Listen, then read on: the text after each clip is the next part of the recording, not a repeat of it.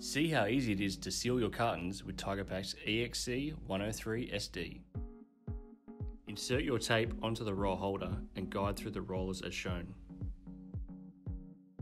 Adjust width of drive belt by rotating the handle located at the side of the machine.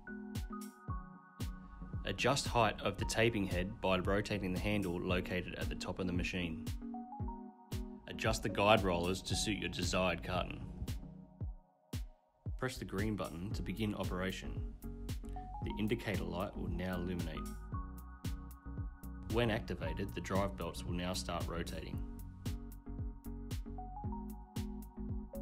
To stop operation, push the red button. To stop the machine in an emergency, push this red button. Prepare your package for sealing.